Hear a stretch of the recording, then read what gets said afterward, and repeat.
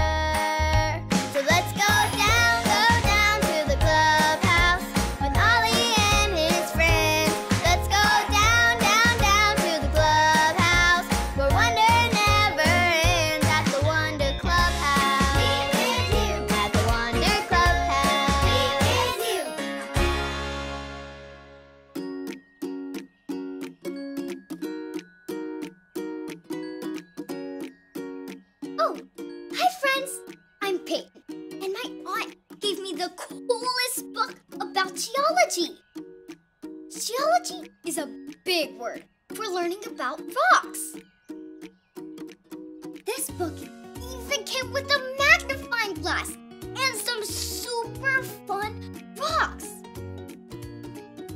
This magnifying glass makes small things look really big. Whoa! Wow, look at this one. It's called pyrite, and it looks like gold. And look at this one. The book says it's a tiger eye. Look at these stripes. Yikes. I can almost imagine a tiger staring at us. Hoo, hoo. It's Ollie! Hello, Peyton. Hoo, hoo. Collecting fun rocks, are you? Oh, hi, Ollie. We're having so much fun learning about rocks with this book. Learning from books is good. It's true. We can learn even more from Jesus, too. Listen to this story. Just follow me through. Hoo, hoo. Follow me through, follow me through. Ollie's got a Bible story for me and you.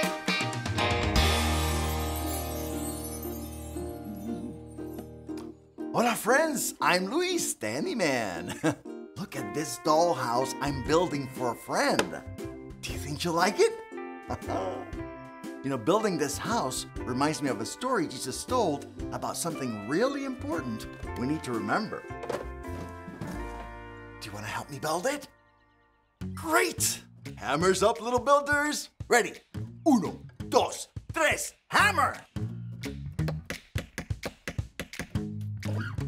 Great job, little helpers. You can put your hammers down. Now we just need our story tools.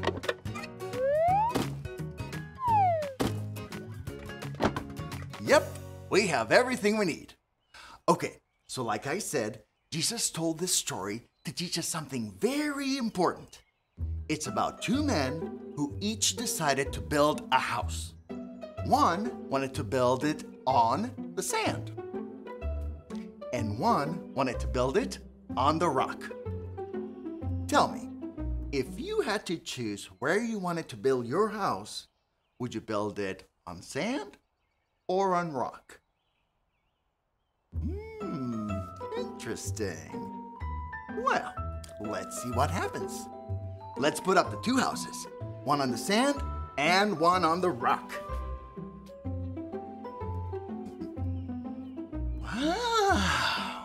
Both houses look great. Everything was fine until it started.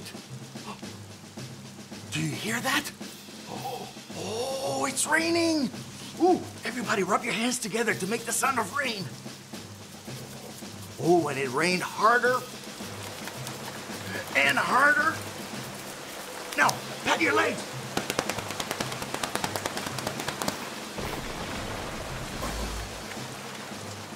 Happened to the house on the sand? It fell down.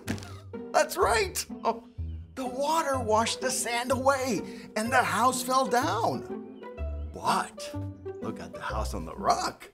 It's still standing strong. The water couldn't wash the rock away. Jesus told this story because he wanted to teach us how to live and be strong like the house that was built on rock. We can live like Jesus when we love everyone like God loves us. And we can treat everyone like they are important to God. We can share and we can help everyone. That is how we can live like our house is built on a rock, just like Jesus teaches us to do. Hmm? I'm so glad we have a friend like Jesus to teach us important things. Hey there, Ollie. Tell me, who teaches you important things? Jesus teaches me important things. Yes, it's true. Now let's hear it from you. Tell me, who teaches you important things? Jesus teaches me important things. That's the truth, friends. You better believe it. Adios. So there's your story, and it's all true. Jesus tells us how to live so we can be strong in all we do. Thanks, Ollie! Goodbye to you. Hoo, hoo. Wow! Jesus told such an awesome story. When we do what Jesus teaches us, it's like we're building a house on a super strong rock. I think I got the story. Did you get it? If you did, say got it. Get it? Got it! Good. These rocks are cool, but what Jesus teaches us is even more awesome and important. See you next time. Bye.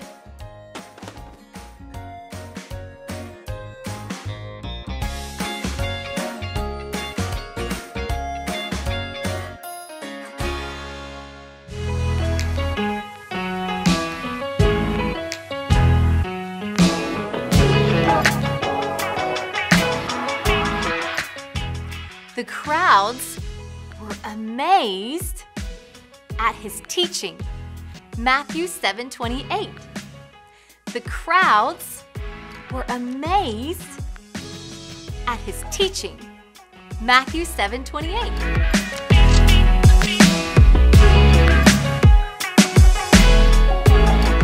Hi, friends. Welcome to week five. Today's true story Jesus taught us something very, very important, and you can read about this story in your Bible. The story was about two men who each decided to build a house.